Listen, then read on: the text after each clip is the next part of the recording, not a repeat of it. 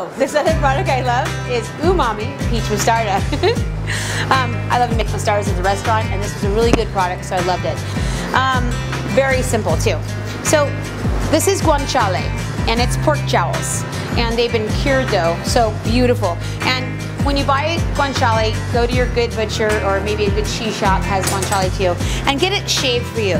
Have them shave it for you paper thin um, because I really feel like slicing with your knife on a sandwich isn't possible.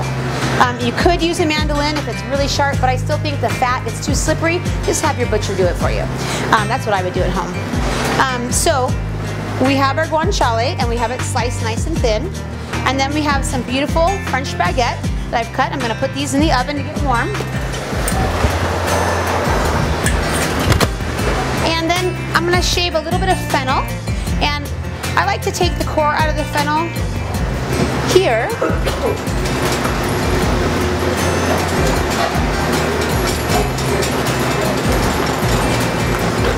Oops, popped right out of me. But now you have the entire core out of the fennel. But the fennel's still on one piece, so now you can slice it really easily on your mandolin or on your slicer. And I think that's nice. And that way shave fennel in a salad or a sandwich, super nice, really easy. Japanese mandolin, something I always have at home. Just take some beautiful fresh arugula. And I'm gonna take my shaved fennel, and I made some over here too. Shaved fennel. And I am gonna dress it with a little squeeze of lemon juice and a touch of extra virgin olive oil. I just happen to have it here. Doesn't need a lot of dressing, just lightly dressed. Of course, a little salt and maybe a touch of pepper. Arugula is peppery, so you want to be careful with pepper and arugula, I think, just so you know how it is. So we have a nice little salad made up there. I have some goat cheese and our mostarda. So let's make this on the sandwich. So our bread's warm and we have it sliced through. I'm gonna make two sandwiches here because I think somebody else wants one too. And we're gonna put this peach mostarda down on the bottom of the sandwich.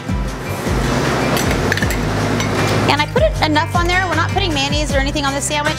So this mostarda is really the sauce, the dressing. So maybe a little bit more, do you think? And we're gonna put the shaved guanciale down. And seems on the recipe like you're like, oh, three ounces of guanciale for all four sandwiches. You know, like, that's not even ounce per, but guanciale has a strong flavor and it's delicious, and you don't need a lot of it. It's not like a lunch deli meat, you know, you just don't need a lot of it. And I like to put a little on the top and a little on the bottom. You know, that's kind of silly, but that's how I like to do it. And then I like to put the goat cheese in the middle. So this nice salad on here.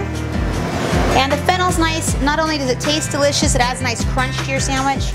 And then sprinkle your goat cheese on and little nice sized bites so you don't get too much goat cheese at once either. And then like I said, I'll put a few more pieces of the guanciale on top. And that's just something I do, so you don't have to put the guanciale in two different places. But sometimes I think you get a sandwich and all the meat squishes on the bottom together. And I just am a crazy sandwich lover.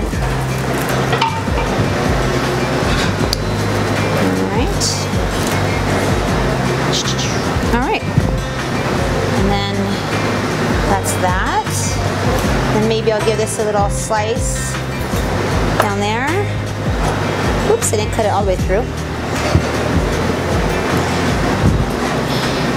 And we're gonna all have sandwiches, so we're making extra of these today. So there we go, there's some awesome sandwiches with the peach mostarda.